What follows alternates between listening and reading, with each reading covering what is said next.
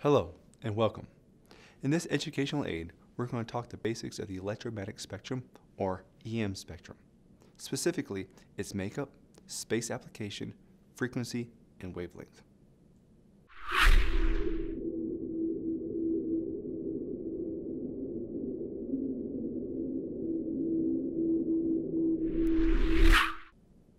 So what is the electromagnetic spectrum? Most simply, it is light and describes the total range of light that exists. In many communities, the spectrum is often referred to as energy or radiation and is described in terms of energy, wavelength, or frequency.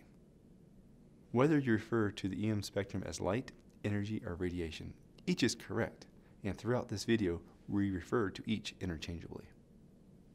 There are many types of light besides what we can see, such as infrared and gamma rays. The primary source of light is emitted or radiated from the sun and stars. However, we can produce radiation ourselves, such as when we go to the doctor and have an x-ray taken, or even by turning on a light bulb. Light travels at a constant rate, roughly 300 millimeters per second when in a vacuum, or the speed of light. Light is made up of two parts, electric fields and magnetic fields. Thus, the electromagnetic spectrum. All objects above 0 degrees Kelvin emit radiation. However, the amount of radiation emitted is a function of both temperature and wavelength. Our sun emits radiation across the whole EM spectrum. Most of the light given off by the sun we cannot see. However, we use sensors on satellites which measure and record the various light emissions from the sun or other objects such as the heat from a jet engine. Scientists then will typically add a color code to the image to depict the various temperature ranges represented. Typically, red will represent the higher temperatures and blue the lower temperatures. Now, to better understand the EM spectrum, let's break it down in terms of wavelength and frequency. What is wavelength and frequency? Let's look at the ocean to better illustrate these terms. Disturbances on the surface and under the water create swells or waves. The distance from the top of one wave to the top of the next is called wavelength. Then the rate at which waves pass the same point in the given time is called frequency. Now, let's relate frequency and wavelength back to the EM spectrum.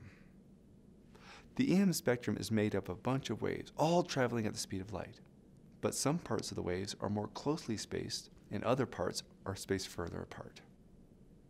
So, just like the ocean example, the further the wave spacing or larger the wavelength, the smaller the frequency. The more closely the spacing of the waves, or smaller the wavelength, the larger the frequency. We will go in more detail on frequency and wavelength in the electromagnetic spectrum laws educational aid. But for now, we just need to know that frequency and wavelength are inversely proportional. So the larger the wave's wavelength, the smaller its frequency. The larger the wave's frequency, the smaller its wavelength. These differences in frequency and wavelength break up the EM spectrum into portions or subregions. The portions that divide the EM spectrum are as follows. Radio waves, microwaves, infrared, visible light, ultraviolet, X-rays, and gamma rays. Now, let's talk about each of these subranges in terms of wavelength and frequency and their general space application. Radio waves have the largest wavelength ranging from 10 kilometers to 10 centimeters. That's the size of a large building to a baseball. It has frequencies ranging from 3 kilohertz to 300 megahertz. Radio waves are widely used to transmit information across distances in radio communication systems, such as radio broadcasting, television, two-way radios, mobile phones, communication satellites, and wireless networking. Microwave wavelengths range from 10 centimeters to 1 millimeter, the size of a baseball to head of a pin, with frequencies from 300 megahertz to 300 gigahertz. Microwaves are the main wavelengths used in radar, but also are used for satellite communications and wireless networking technologies such as Wi-Fi, although at these power levels they are unable to cause thermal heating. Infrared wavelengths range from 1 millimeter to 1 micron, so about the size of a period on a piece of paper, to cells. Its frequency ranges from 300 gigahertz to 300 terahertz. Infrared waves are used to detect thermal radiation. Because of the size of the infrared's wavelength, they can pass through clouds, gas, and dust. This makes infrared useful for meteorology, geology, and astronomy. Visible light wavelengths range from about half micron, about the size of cells, and has a frequency of 300 terahertz. Visible light is a part of the EM spectrum the human eye is the most sensitive to. This wavelength is typically used for remote sensing, agricultural, and astronomy. Ultraviolet wavelengths are about 10 nanometers, so about the size of a virus. And from this point on, the size of the frequency starts getting so large it is simplest to only refer to wavelengths. Since the Earth's atmosphere absorbs much of the high energy UV radiation, scientists and astronomers use this information gathered by sensors on satellites orbiting the Earth to observe UV radiation coming from the Sun and other celestial bodies. X-ray wavelengths are about 0.1 nanometers, about the size of DNA. Scientists and astronomers use X-ray sensors on satellites to collect information concerning the Sun. As stated earlier, the Sun produces light in all the subregions, but the Sun's corona radiates primarily in the X-ray subregion. This information allows tracking of sunspots and allows astronomers to determine solar flux of the Sun. Gamma ray wavelengths are about 10 picometers, about the size of an atom. Gamma rays have the smallest wavelength and the most energy of any subregion in the EM spectrum. They are produced by the hottest and most energetic objects in the universe, such as neutron stars and pulsars, supernova explosions, and regions around black holes. Scientists also use gamma rays to determine elements on other planets. However, effectively using these subregions of the electromagnetic spectrum does have its limitations. One of these limitations is atmospheric absorption. All materials do one of three things to electromagnetic energy.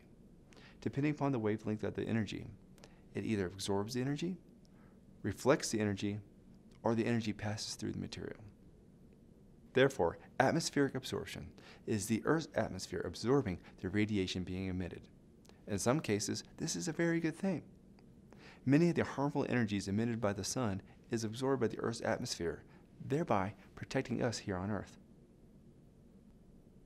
But using the full electromagnetic spectrum for space applications, the Earth's atmosphere can become problematic. The different layers of the Earth's atmosphere, clouds, and rain can affect or absorb some portions of the EM spectrum. This picture provided by NASA shows the various subregions of the EM spectrum and the absorption of the spectrum being emitted. In the middle of this picture details the absorption of the EM spectrum. The gray areas show the areas the spectrum is absorbed or partially absorbed. The areas without the gray are our transmission windows. So, now we have the EM spectrum broken down to subregions and by frequency and wavelength. But why is this important? All objects that are above 0 degrees Kelvin emit energy. When EM radiation strikes an object, energy is either transmitted, it goes through the object, is reflected by the object, bounces off, or is absorbed, adds additional energy to the object. Knowing the frequency of the emitted EM spectrum of the object allows us to determine the type of sensor required to image the object.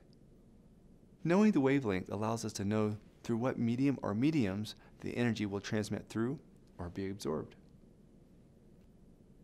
In the EM Payload Educational Aid, we will discuss this frequency and wavelength relationship in more detail. But for now, this educational aid gives us a basic understanding of the EM spectrum. This table gives a good summary of the size, wavelength, frequencies, and space application of the EM spectrum and its subregions. That is it for the basics of the electromagnetic spectrum. I am Jeremy Brown with the National Security Space Institute. I hope you enjoyed this educational aid.